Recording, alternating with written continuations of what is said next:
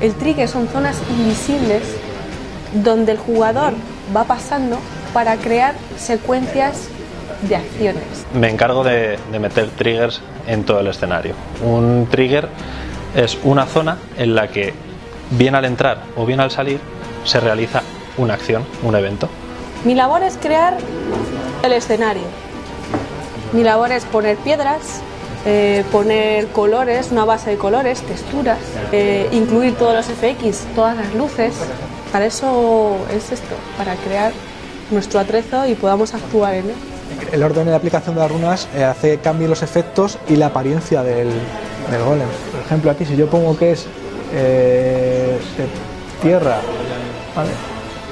y aquí pongo que es de agua, ¿vale? pues cambia.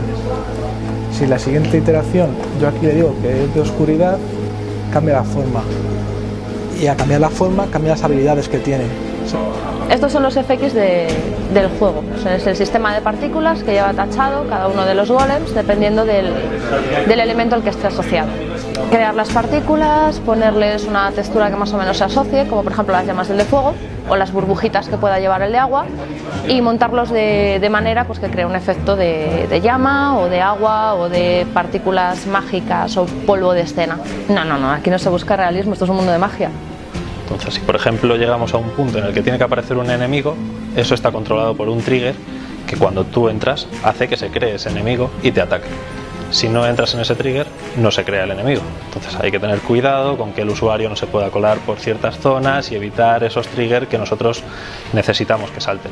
También trajimos minerales, donde podíamos ver estructuras sobre todo de cristales para poder crear props e incluso los FX que se están haciendo basados en algo que es real. Bueno, encontré un señor que vive en Hawái y él tiene un blog que todos los días saca fotografías del volcán de Honolulu.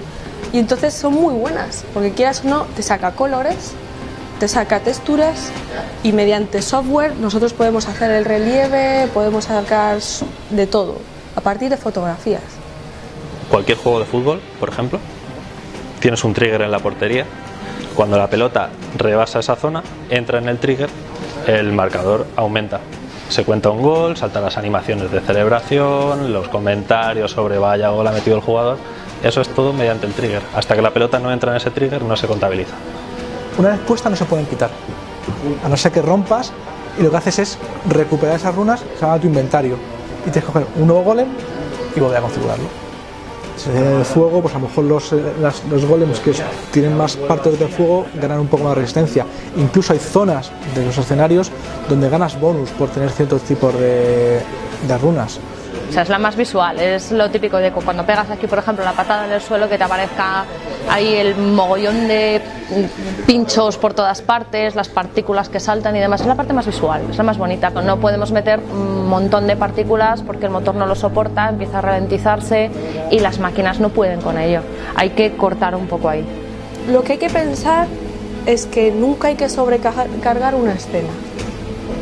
¿Eso qué quiere decir? Que el jugador tiene que jugar y no tropezarse con todas las cosas que vayamos metiendo dentro. Entonces lo que hay que procurar es que haya la mayor claridad posible y que también haya un equilibrio con objetos. O sea, que el jugador pueda jugar y que dé una sensación de que está jugando en un entorno. Hay que quedarse en un punto intermedio entre lo que nos gustaría que el entorno tenga y lo que puede llegar a soportar el motor. Tenemos un marcador de frame rate que de cuando se dispara dices, bueno, por aquí ya no vamos mal, estamos metiendo demasiada carga. Entonces, pues cortas el número de partículas o les bajas el número de emisiones o quitas efectos. Ahí está la gracia del juego. Encontrar tu combinación, la que más te guste, la más apropiada que sea, para el tipo de batalla que vas a hacer en ese momento.